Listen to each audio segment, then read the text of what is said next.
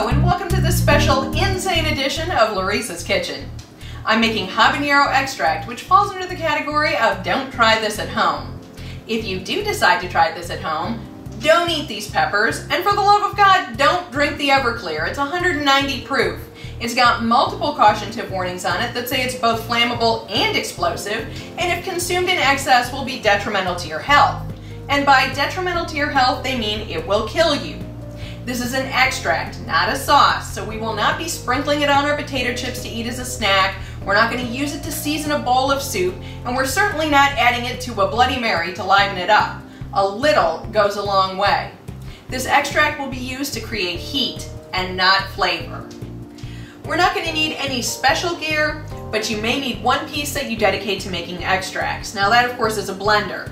This is my go-to blender and I love it, but it's got two problems. It's plastic, and that will forever hold the spiciness of the habaneros. And the base doesn't detach from the crop. So I bought this incredibly cheap-ass blender from Target for about $17. Now it's plastic too, but it doesn't matter because all we need is the base and the motor. I'll also be wearing two pairs of plastic gloves and I've got this glass half gallon mason jar. We want to use glass and stainless steel, not plastic and aluminum. This is why we use this cheap ass blender because this base fits perfectly on this half gallon mason jar. We'll be able to blend and age in the same jar so we don't have to worry about splashing anything when we transfer. I'm using a flexible cutting mat to cut these on. Whatever you use should probably be considered disposable, so don't use anything nice. We're going to take the top off and then quarter these. Then this is going in our jar.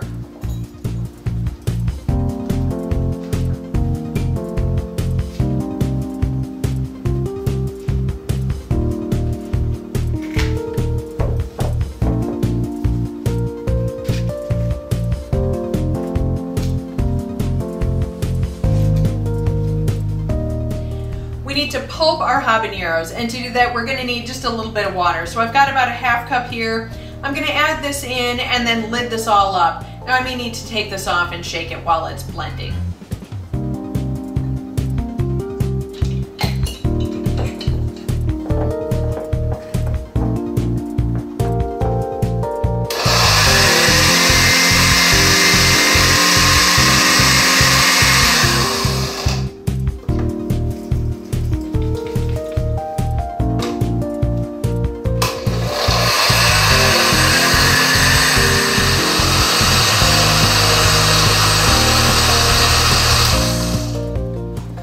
Okay, I had to add another about half cup of water to help this pulp. So now we want to do even amounts of habaneros and Everclear. So I'm going to estimate, because I had about a cup in there, probably about two cups of pulp. So I'm just going to fill this up to about three quarters full.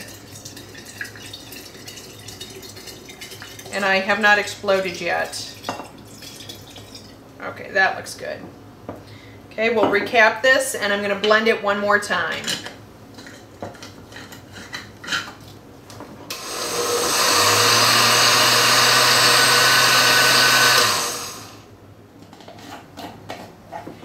The volatile oils in the habaneros are alcohol soluble. That's why we need the pure grain spirits to form this extract.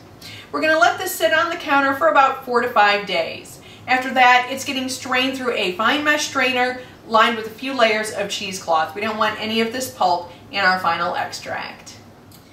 We want to evaporate a little bit of this Everclear, so we're going to strain this pulp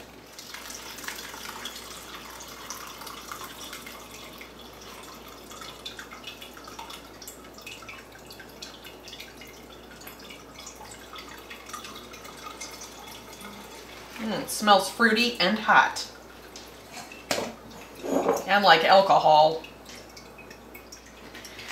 Once this is completely strained, we're just going to cover this 8 cup measuring cup with a little bit of cheesecloth. We want some of this alcohol to evaporate, but we don't want anything to get in there.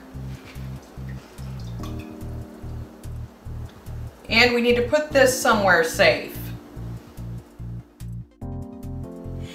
Has been evaporating for about three and a half days. I had a small dust fan blowing across the top of it to aid in evaporation.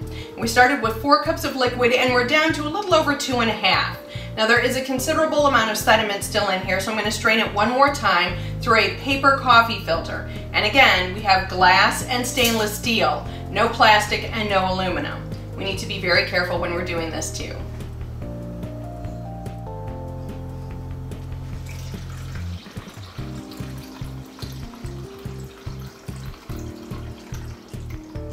We still have about two and a half cups of our extract. Most of that sediment was very fine and made it through the coffee filter. That picked up some of the pulp that didn't get through in the first straining. Now I can't stress to you enough that this is not a sauce, it is an extract, which is why it's getting bottled in these little one ounce bottles with an eyedropper to dispense it.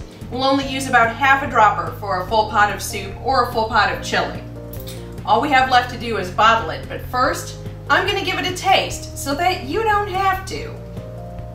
Just standing here, this is burning my eyes, so I'm a little bit frightened at my prospects. Now, I do have ice cold milk here because I know this is gonna be extraordinarily hot. Glass. Just a tiny amount. Oh God! Woo! Okay, pure heat. No flavor. Oh my God. Burning my throat and my tongue. And it just keeps building.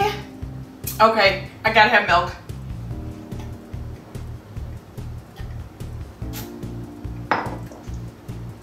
Don't do that. Oh God, it's still burning so much.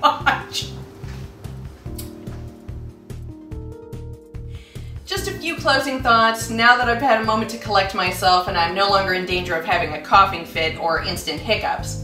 This is not nearly as explosively hot as I thought it was going to be. I was afraid I wasn't even going to be able to taste it without suffering extreme pain. Now all that being said, this is still very hot. I spilled a drop of it on my hand and it burned for several hours. So use extreme caution if you're going to use something like this. I do have plans to make another batch of this but I'm not gonna use water to pulp it. I'm just gonna use the Everclear, and I'm not gonna strain it. I'm gonna leave the pulp in through the entire evaporation process. I'm also not just using habaneros. I'll be including ghost peppers and Carolina Reapers. Now none of this is gonna be able to happen until the next growing season, so for that video, you're gonna have to wait. We're so glad you stopped by our kitchen. If you enjoyed this video, give the like button a click and don't forget to leave a comment. We're always happy to hear from you. If you haven't already, subscribe to our channel and don't keep us a secret. Share our videos with your friends and family and keep up with us on Twitter and Facebook for upcoming videos and the random cat picture.